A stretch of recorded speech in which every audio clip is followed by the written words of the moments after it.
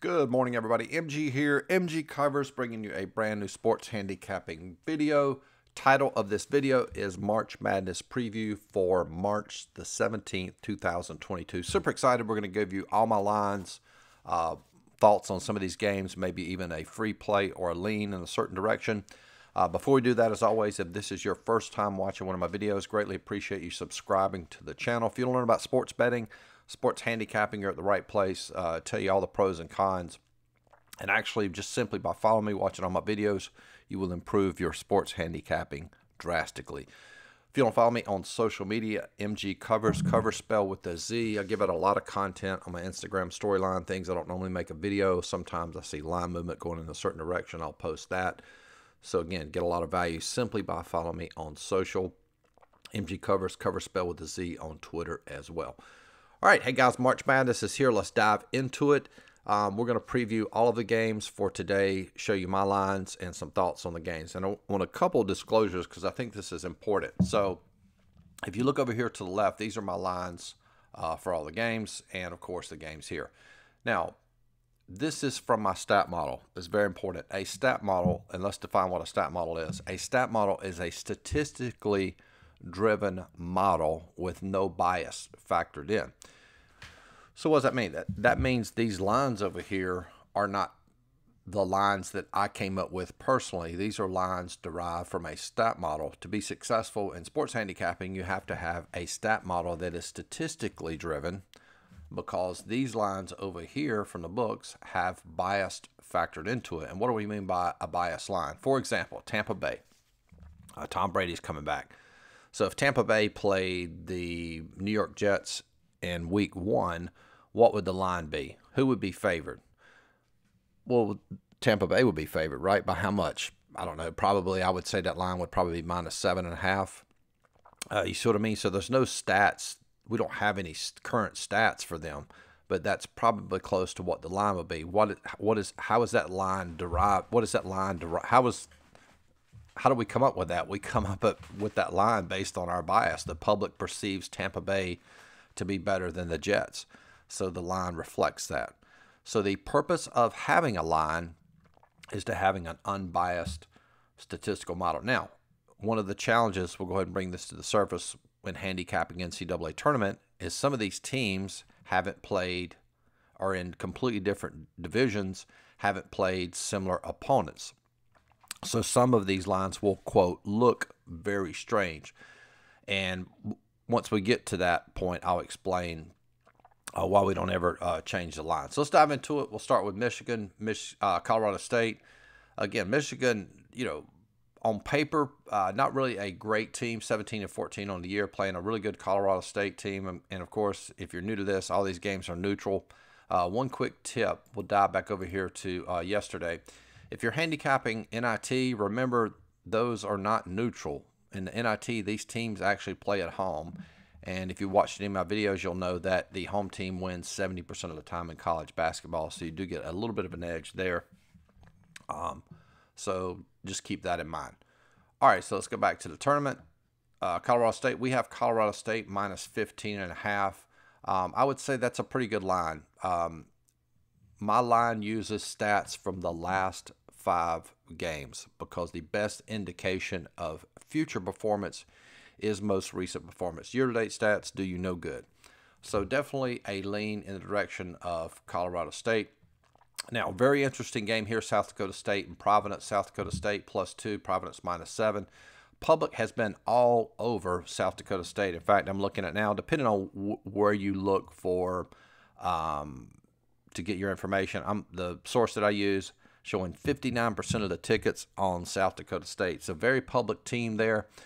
Um, you know, they're they're very good. They're 30 and 4 in a year, but again, like I've said before, this is uh, probably the best opponent South Dakota State has played all year. And for those of you, I'll make another parallel comparison. If you've ever wagered on horse racing or greyhound racing, this is a prime example. And what I mean by that, you have Providence played a really good schedule. You have South Dakota State has played has not played the type of competition that Providence has played. So this is a step up in class. In fact, this will be the best team South Dakota State has played all year. So what you'll see in horse racing, you'll see a team, uh, a horse that's maybe a C class. If they win in C class, they get moved to B class. So then they have to perform against all of the B class. And what happens a lot of times, the public will overvalue that horse moving up in class simply because they won, but that was against C competition. So now they're playing B competition, and you have to factor that when you're when you're looking at this. So considering you have the public all over South Dakota State, my line is Providence minus seven.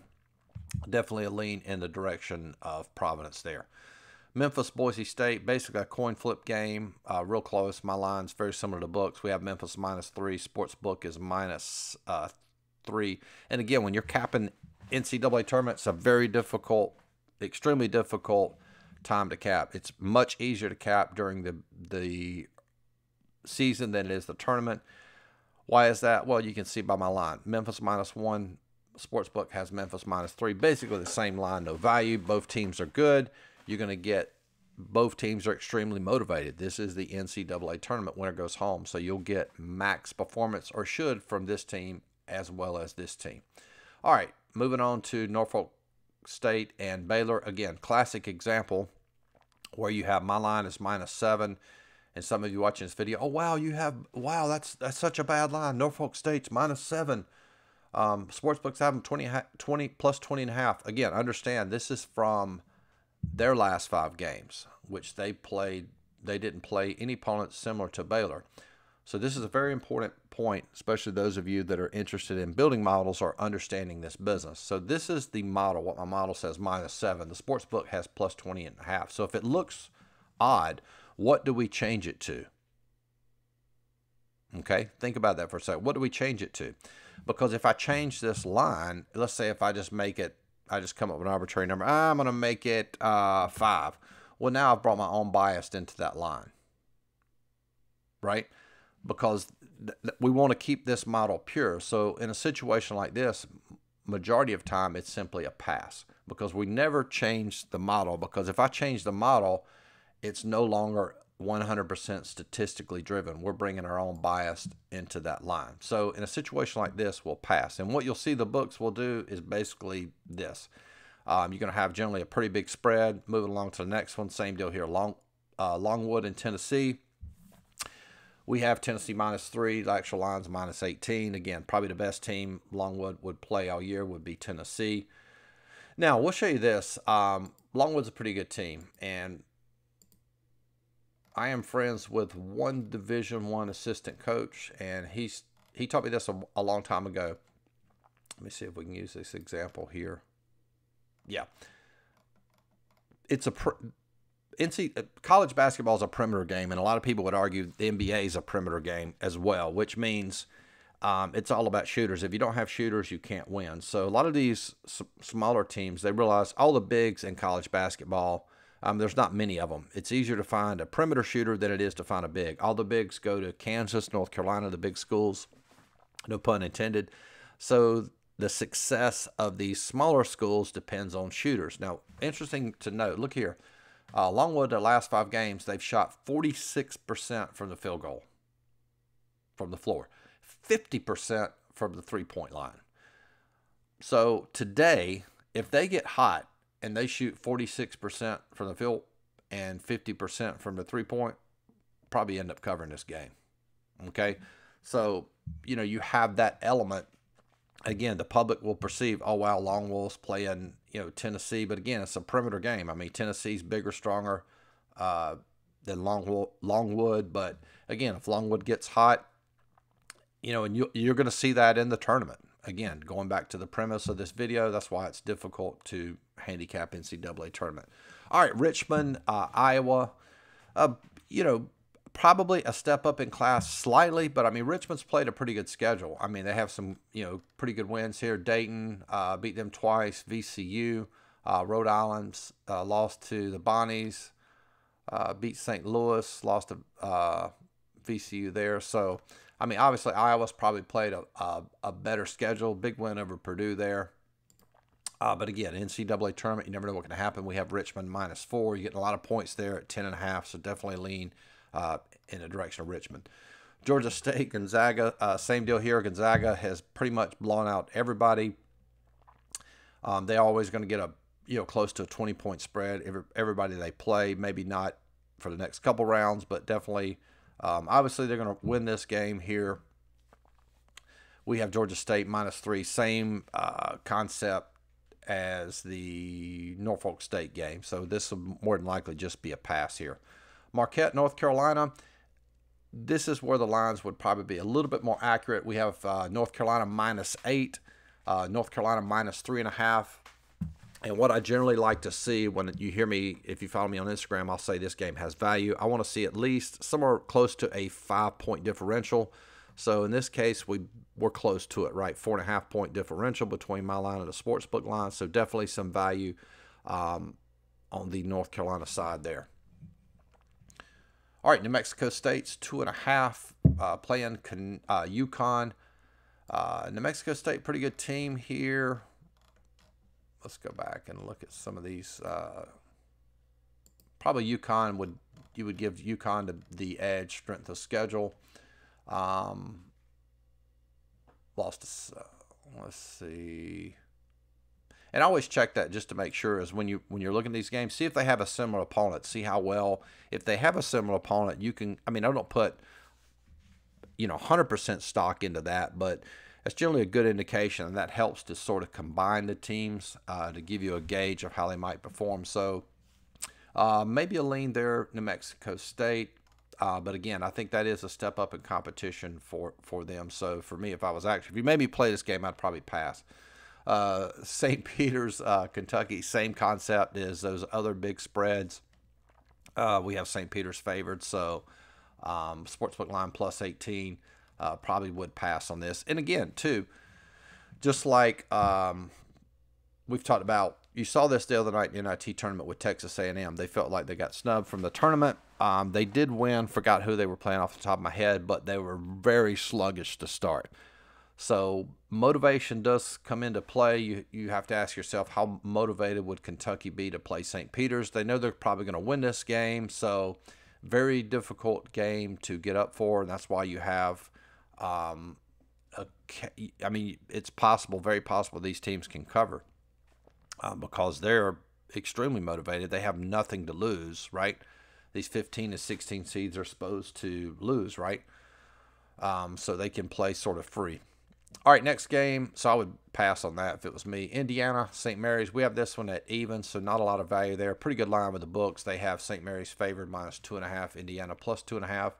Creighton, San Diego State, eight and nine seed there. So feels like a coin flip game. We do have uh, Creighton favored in this one. Uh, so a little bit of value on the Creighton side there. Uh, Vermont, Arkansas, interesting matchup, in my opinion. Vermont's plus five, and I think a lot of people would have, would have anticipated this line being bigger than that. We have Vermont minus 11. Again, haven't played similar opponents, but I do want to show you this. Similar to that game I showed you previously, when you talk about a really good perimeter team, look at Vermont from the floor here. 50% in their last five games from the uh, field, and they shot 35% from the three point line. Again, same deal, averaging 78 points a game. Arkansas averaging 73. Pretty good defense, too, over here for Vermont. Um, I don't know if I could slide that over to, to, to show it now. So, again, you know, if Vermont gets hot, um, I think that's a good line by the books there, right? Um, and they're anticipating this game to be a little bit close. Let's see what the public thinks. You always want to look at, I'm not doing it in this video, but you always want to see what the public is doing. And it doesn't matter what the sport is, you always want to look at, you know, where the public is leaning. In this particular game, um, the book I'm looking at now, we got 60% of the tickets on Vermont, and that line's actually moved down from five to four and a half uh, Vermont. So we have some line movement moving in the direction of Vermont.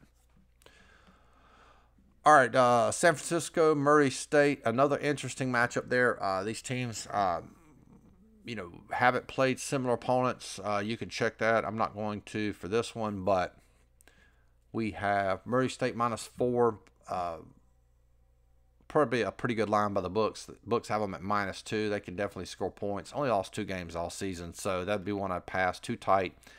Uh, Akron, UCLA, we have Akron minus five and a half, Akron plus 13 and a half, UCLA minus 13 and a half. Now, this is an example of a team stepping up in class. This will be the best, the best opponent Akron has played all year. So sort of that shock of playing a, a better team. Um, I would actually, in this particular game, lean uh, in the direction of UCLA here, um, even though it's going against the power rankings, and I've already talked about that. Let me take a look at, let's see if I can get, see what the public's doing here. All right, so yeah, you got 80% of the public on Akron here, so definitely like to lean in the direction of UCLA fading the public.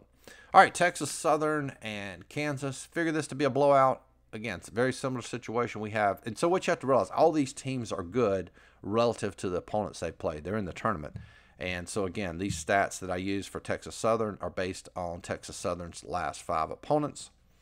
Um, step up in class for uh, Texas Southern, so difficult to uh, cap there. Uh, Eastern Washington, Fresno State. Interesting game here. We have this one. Uh, Fresno State minus three and a half. Um, the actual line is minus 13, and you would say, well, you got value at Eastern Washington. What I generally like to do with my power rankings, whoops, that's from a different, okay, this isn't the tournament. Okay, that's important to note, but we'll cap it since we're here. Is if my line has Fresno State favored to win three and a half, Fresno State is minus 13 and a half, more than likely uh, we can assume they're probably going to win. So I would say you split the difference. That line's going to be somewhere about you know minus six. So in these particular games, I generally don't like to look at East Eastern Washington as having value.